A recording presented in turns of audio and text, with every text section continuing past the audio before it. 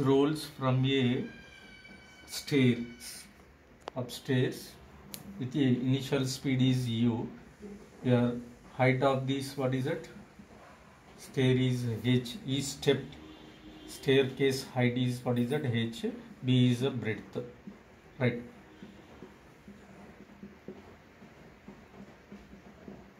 Now so here the horizontal displacement is equal to, to horizontal velocity into time. That is sx is equal to, to u into t. That is equal to, to b into b is a breadth. Okay? Like this way n steps are there. So therefore n into b. n into b. So steps n steps each of b is equal to, to breadth.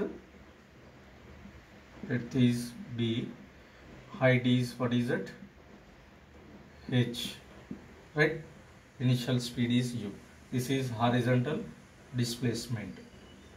And vertical displacement covered by this what is it? Body that is sy is equal to, to what is that it is behaves like a freely falling body half into gt square that is equal to, to n into h. Hmm. so each step height is h like this way n steps are there in h. Then so this is expression 1 expression 2 so from this we will calculate what is it number of steps.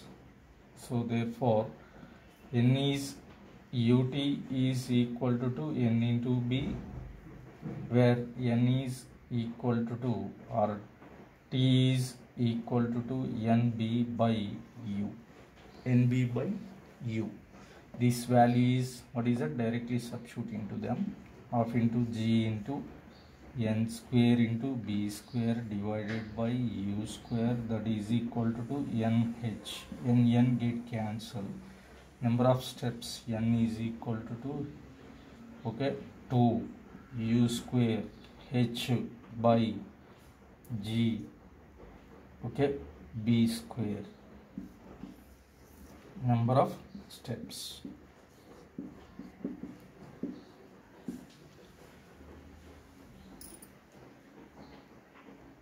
Are projected or thrown horizontally in opposite direction from a tower. Of height is what is it? H. This is tower. Height is h two bodies are thrown horizontally okay in opposite direction. So the time after the velocity vectors are mutually perpendicular. Here v1 is the velocity after time okay set a time. At the same time what is that? V2 is the final velocity of the second one. So whenever they are extended velocity vectors they are what are the intersecting at point? So when we are measuring the angle both of them is perpendicular velocity vectors are mutually perpendicular. The condition is first final velocity of the first vector. Final velocity of this what is that? Second body. Here final velocity of the first body. Okay? So this is i cap minus i plus j minus j. Here horizontal direction component is what is it minus v minus of u i cap. Next vertical direction velocity component minus of gt j cap. Right next v2 is equal to 2 here horizontal direction velocity component is u2 i cap vertical direction velocity component is minus of gt j cap so time after velocity vectors are perpendicular nothing but v1 bar and v2 bar that is equal to 0 product value is 0 so from this after multiplication of these two vectors you will get final result minus of u i cap minus of gt j cap into u2 i cap plus minus of uh, gt of j cap that is equal to 0 therefore here u1 velocity. minus of u1 u2 okay?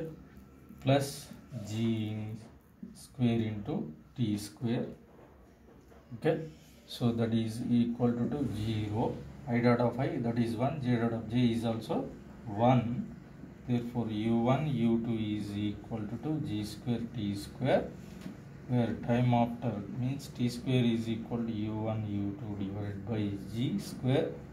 T is equal to, to root over u1 u2 divided by g. Next displacements are perpendicular time after displacements are perpendicular the final expression that is horizontal velocity is u1 plus u2 into time time of flight. Therefore u1 plus u2 into root over u1 u2 divided by g. This is displacement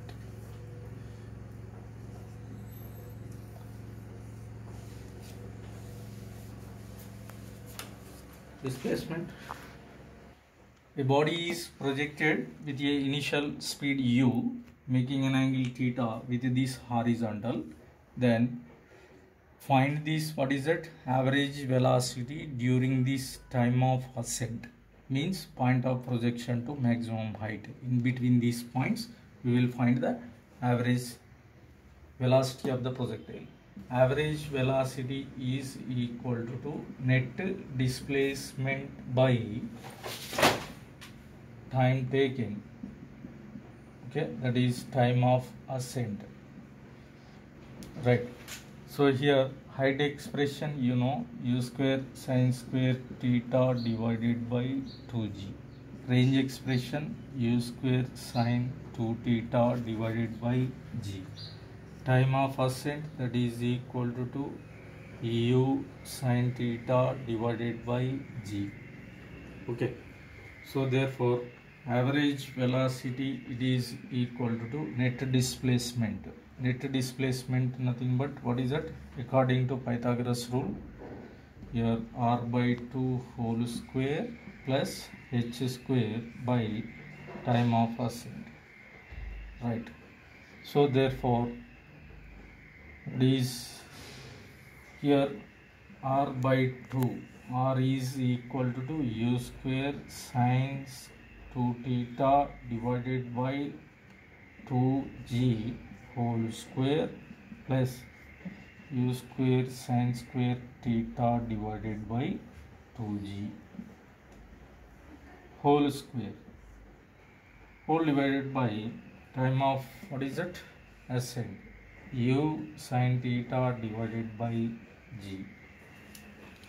Here this can be written as what is that? u square into sine 2 theta 2 sine theta cos theta divided by 2 into g.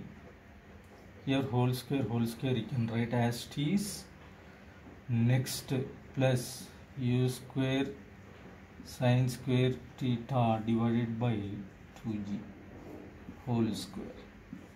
Whole divided by u sine theta divided by g. Okay. So here you can multiply with what is that?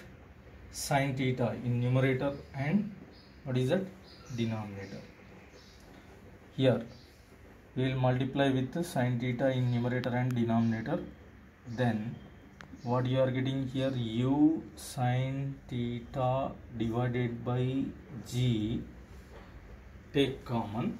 So square root. Hmm. next uh, so what you are getting here? Full. Simplification of this right so here u square sine square theta by 2g u square sine square theta by g. u square sine square theta by g u square sine square theta by g. Here take common. First you can multiply with the sine theta numerator and denominator. Then after what is it? u square sine square theta by g take out okay of what is it? root then use sine theta by g use sine theta by g get cancel after simplification you will get u by 2 into root over 1 plus 3 cos square theta. This is average speed or average velocity